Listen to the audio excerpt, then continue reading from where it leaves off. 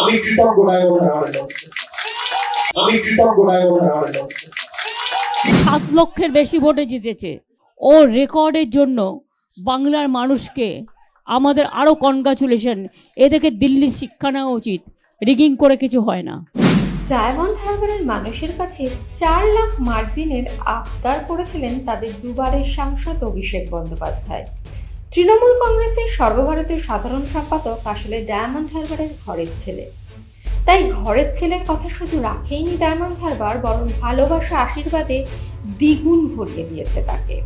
এদিন ফলাফল ঘোষণা হওয়ার পর দেখা গেল, ভোটের মার্জিন অভিষেকের চাহিদার প্রায় দ্বিগুণ অভিষেক বন্দ্যোপাধ্যায় ডায়মন্ড হারবার থেকে শুধু জয়ী হননি, বরং নজির গড়ে জয়ী হয়েছেন তিনি।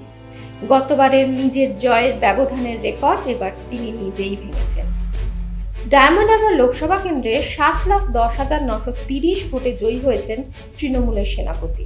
তার প্রাপ্ত মোট ভোট দশ লাখ আটচল্লিশ হাজার দুশো তিরিশ। ভোটের প্রচারে বেরিয়ে তিনি ডায়মন্ড হারবারে বলেছিলেন, অভিষেক বন্দ্যোপাধ্যায়কে সরাবে, খেদাবে, আমি সারা বছর মানুষের হৃদয়ে থাকি কাজ করি। এখানে হাওয়ায়, গ্রামে, প্রত্যেকটা বুথে, লতায়, পাতায় মানুষের হৃদয়ে আমি রয়েছি। আমায় খেদানো অত সোজা নয়।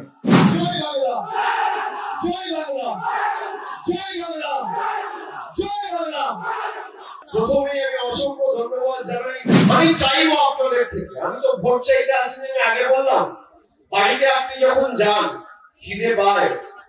মায়ের হাতে পায়ে মা, খেতে দাও। হাতে ধরছি পায়ে ধরছি না বললেও মা দেবে।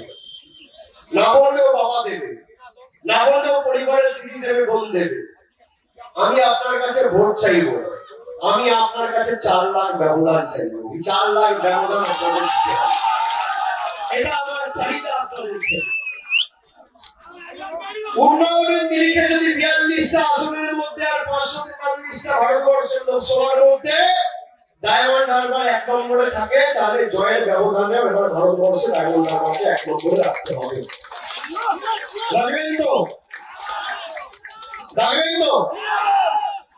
আমি শপথ নিয়েছিলাম এই জেলায় এবং বাংলায় আগামী দিনে এক নম্বর আসনে ডায়মন্ড হারবারকে জয় দিই সবাই বন্দ্যোপাধ্যায়ের অবস্থা টাইট।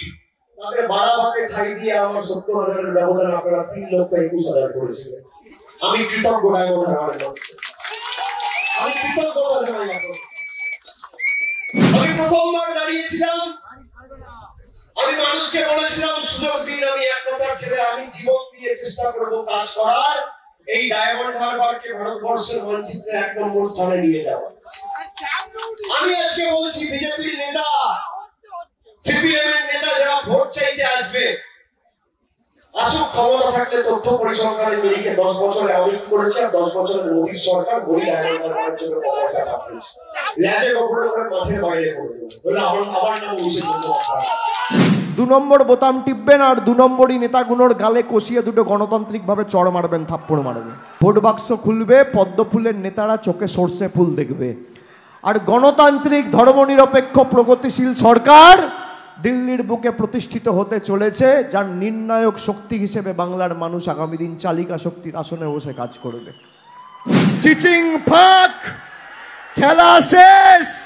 চিচিং ফাক খেলা শেষ। আমি ধন্যবাদ জানিয়ে আমার বক্তব্য শেষ করলাম। জয় হিন্দ বন্দে মাতারাম জয় বাংলা। এই সময় ডিজিটাল।